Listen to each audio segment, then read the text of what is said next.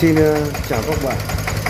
Hãy quay lại kênh của Hải Vũ Và đón xem là công nông ba bánh.